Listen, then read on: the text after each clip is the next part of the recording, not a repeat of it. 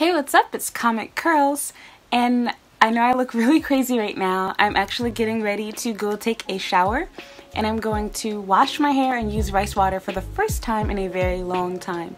So as I mentioned in my previous video, my hair has become very, very damaged, and I bleached the crap out of it. I dyed it several times because I made mistakes, etc. But I really wanted to record my hair before so that you guys can like see how broken the pieces are. I'm gonna show you guys in some other videos too, but just so you can see what I'm working with.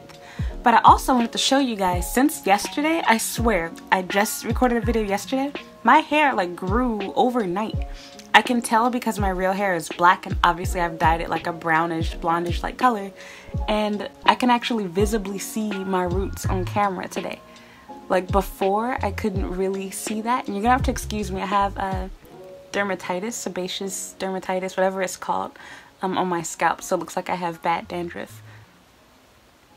But, and that's something that I plan to try out on this channel because I have used apple cider vinegar before, which did help, but I've never been able to completely cure that. So look at that, that's amazing. So I haven't used the rice water yet, so I wanted to make sure that I make it clear that this is not from rice water or anything. I know that of course your hair naturally grows every month, throughout each month, it grows about half an inch, but I've never been able to like really see any real growth since my hair has been breaking off which has been since like about November-ish. So you're going to have to excuse my bad skin. I'm not wearing makeup or anything, but I wanted to show you the back of my hair as well. So I apologize in advance if you cannot hear me or if you cannot see my hair, but I just wanted you to see like, look at that, how broken it is in the back. Like this is nothing, there's no hair there, it's bald. No hair, no hair.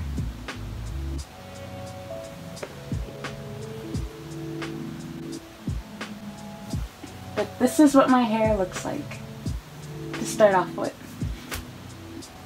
So, so anyway, I'm going to get ready to go take my shower, but before I take my shower, I want to show you guys what products I'm going to be using in my hair so that you can have an idea as to what else I'm using to aid me in using the rice water. So of course, before I can use the actual rice water, I'm going to have to wash and condition my hair. And I recently bought this hair recipe, almond oil and vanilla shampoo and conditioner. It smells amazing, you guys. It's a smoothing shampoo, but it's also moisturizing. Um, I really bought this because like I said, my hair is actually relaxed. I have 3B3C hair and I like to have it straight so I wanted something that makes it easier to straighten my hair so of course I bought a smoothing shampoo. I had no idea that my hair was going to become even more damaged and that I was going to stupidly break it off by not only bleaching it once but leaving it on for a really long time and then dyeing my hair like I think either three or four times back to back and then relaxing it all in just 48 hours. I was a total, might have been less than 48 hours. I was a total idiot. So anyway, long story short, I love these two. They smell amazing. Again, this is Hair Recipe um, shampoo and conditioner. This is their smoothing shampoo. Um, what else? Yeah, I guess that's kind of it. It's almond, almond oil and vanilla, which I love. And then of course to show you guys my rice water. Um, I'll have other videos showing all of this stuff, but I keep it inside of this little container thingy. I like this. I got it from Daiso says, Good Day Sunshine, special favorite, weird English. You gotta love Japan. But I really like shaking this. I'm always afraid I'm gonna get it on myself, but I just let this sit overnight in my bathtub. And then after I'm done applying the rice water, um, I like to top it off with L'Oreal's um, Extraordinary Oil. Excuse it has like hair and stuff on it. But I love using this oil stuff throughout my hair. It's very lightweight, smells great, and for my actual scalp and my tips, I also like to top it with some sweet almond oil as well. I buy mine from Family Mart, but you can get it from pretty much anywhere. It smells really great and it works really good on your scalp too. And it's great um, for straightening your hair. I use it as a heat protectant, although it's probably not supposed to, but it keeps my curly hair from becoming frizzy and it makes it straight like right away. Because for me, when I straighten my hair, it's frizzy for the first few days until it gets dirty and then it can hold the heat and curls too. So that's that. So yeah, um, anyway, let me go ahead and take that shower. I'm not sure if I'm going to show you guys how I'm going to look afterwards. I would like to though, but this feels really weird. I can actually see the growth, you guys. And I literally just dyed my hair a week ago. It was perfectly dyed and bleached where there were no roots showing. And now, yeah, I can kind of see it all throughout my hair. So it's good to know that I'm making some progress. Or I guess not everywhere, but for the most part. So yeah, I can't wait to share more on my journey, so I'll see you guys later. Okay, so I just finished washing my hair.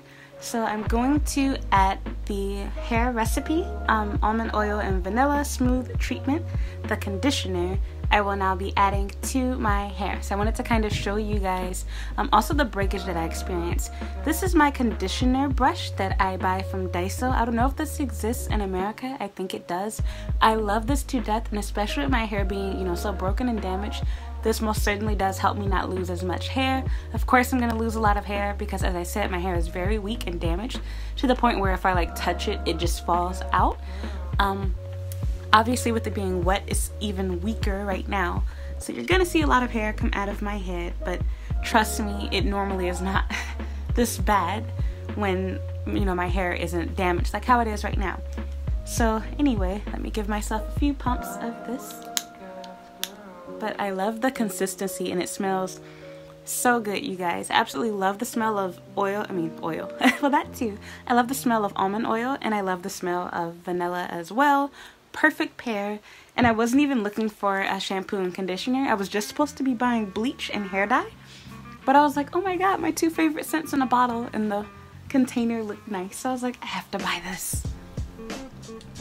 So because my hair is so damaged and it actually feels really bad near the roots of my hair, I'm going to be applying conditioner kind of close, if not on my scalp, which I'm not really trying to do, but you understand my situation, hopefully and I definitely need some in the back of my hair because that is definitely the most damaged and driest part.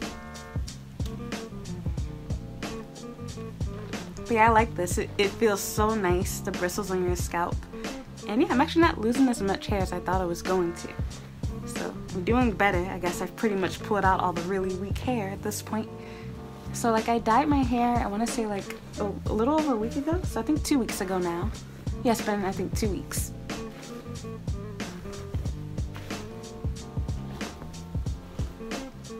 but it's going right through my hair, smoothing it out, no tangles. The shampoo conditioner works great, you guys. Like normally when I'm done washing my hair, my hair like looks kind of curly or whatever, but my hair is relaxed, so it should be somewhat straight. Um, but with this, it literally like smooths it out. It feels like I just freshly relaxed it. But I'd highly recommend this. No, I'm not being paid by them to say this. I authentically like the product.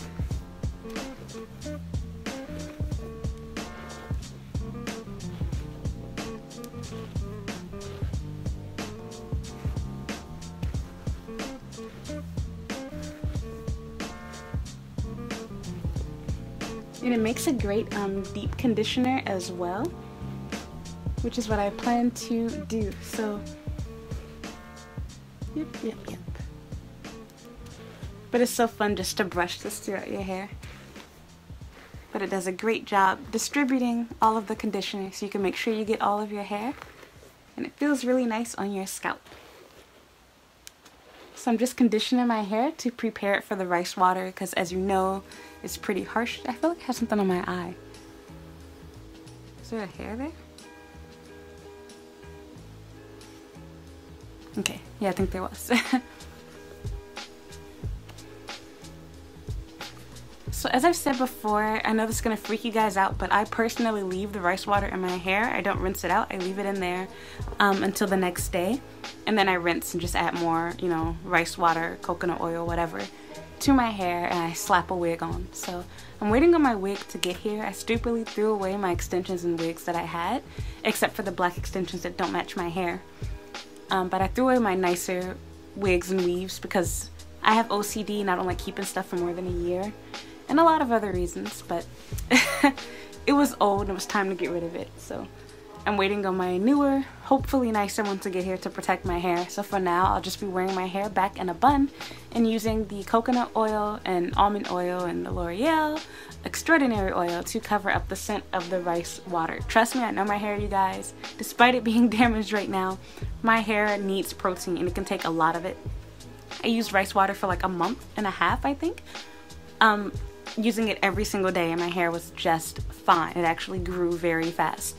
So I'm gonna try it out again with even more damaged hair this time, as I've said before. Okay, so not to gross you guys out, but I just want to show you how much hair I lost. This is nothing compared to what I normally lose though. This is not the shampoo's fault, this is my fault from it being damaged. But this is about how much hair I lost. This looks nice actually, because I normally lose way more hair than this. Normally this brush would be full of hair. But that's all that came out. I'm actually really surprised. You should have seen my hair when I first finished, but even just looking at my scalp right now, I'm like, wow, my hair is so thin. Like it's balding and really short and just super damaged. I want to like turn so you guys can see the back of my head, hopefully. Let's see if that'll work out. But yeah, like my hair is not supposed to be this short. Like look at how short it is in the middle. This is not normal for me.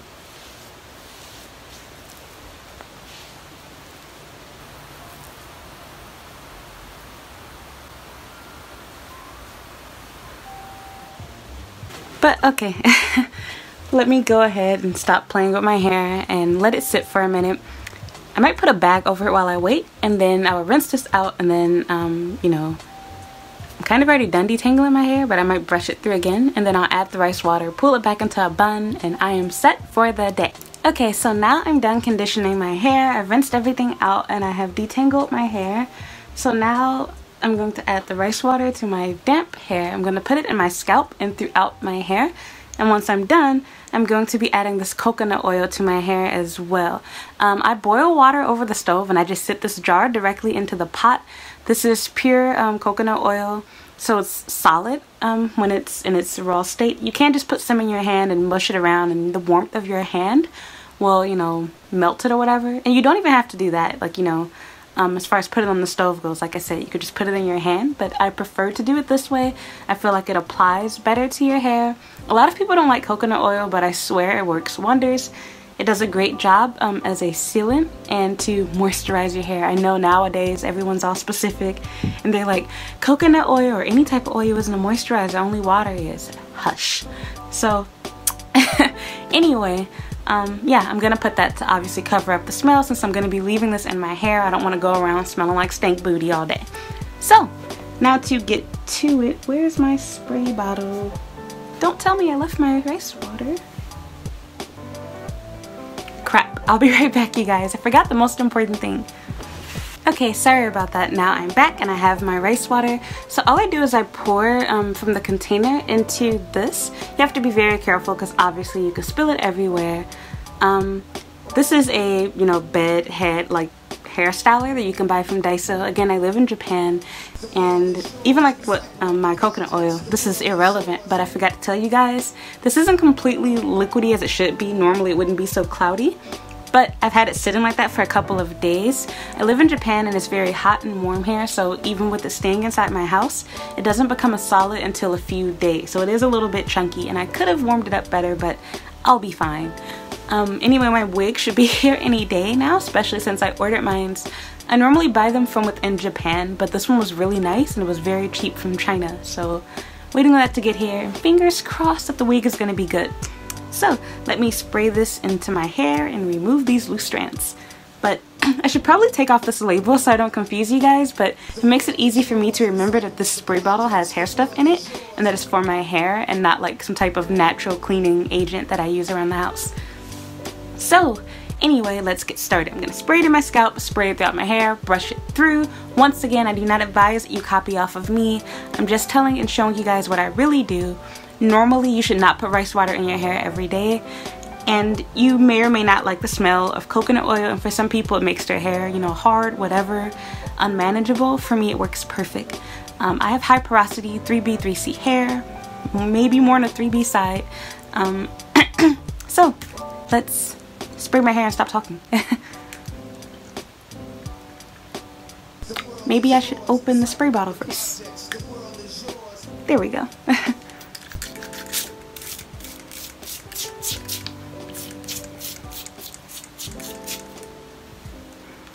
it's really messy and runny.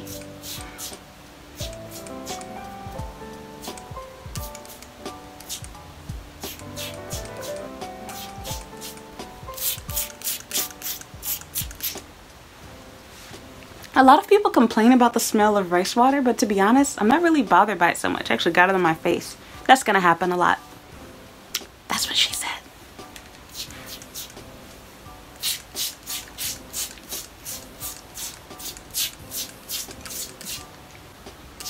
Doesn't smell good, but it's not unbearable. Oh, and I let my rice water sit for a day, but I leave it out like that until it runs out. I don't refrigerate it. I don't dump it after however many days. I just leave it as is. The worse it smells, the better it is for your hair if you ask me.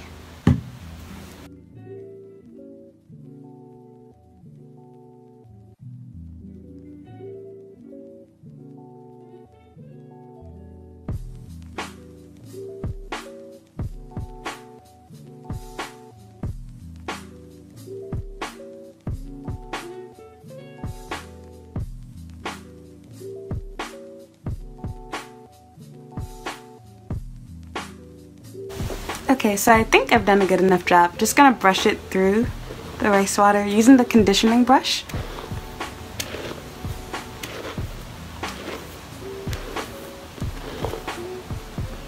And while my hair is still damp, I personally pull it back into a loose bun and I just wear it, not a bun, but like I braid it into a bun, I should say. And I wear it in the back.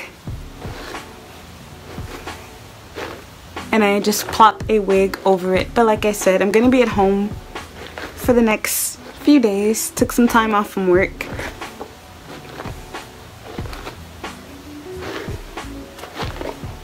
So I'll just be waiting on my wig to get here, but normally I wear my wig over it.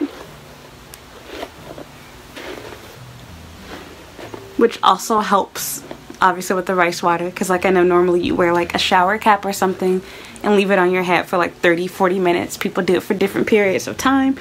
For me that's my wig that does that job for me. And I go to sleep on it like this so I wear it like this all day. So I'm going to go get a hair tie. And then because my hair is so broken and short this time around like look at how short it is you guys and how damaged it is I'm just gonna twist it I guess because I probably can't even braid it and leave it like that. So yeah. Okay, so I got my brown hair tie. I'm just gonna grab my hair.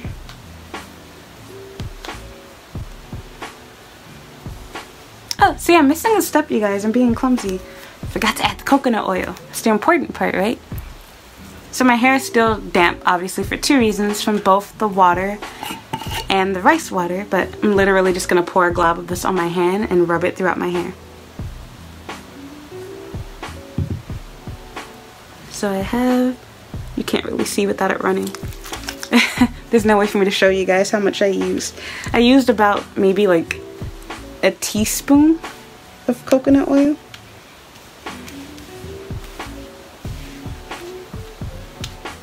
I'm gonna probably get a little bit more because I really want to make sure I get my ends. And again, for other people, you might be like, oh, this is too much product. But again, I'm showing you guys what works for me and what I like to do. Everybody's hair is different. This is my journey.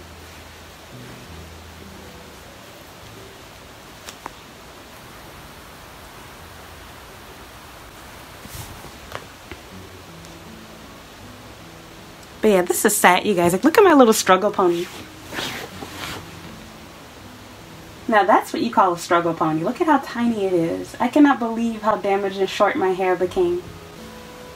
I know I'm to do it for other videos too, but I might also insert some pictures showing what my old hair looks like, and if I don't, you guys can check out my other videos to see what my hair used to look like. And if you haven't already, you can also check out my main channel, Comic95 The Savior, to see what my hair normally looks like on a day-to-day -day basis Um, don't be fooled though because I've been wearing, you know, wigs and extensions recently.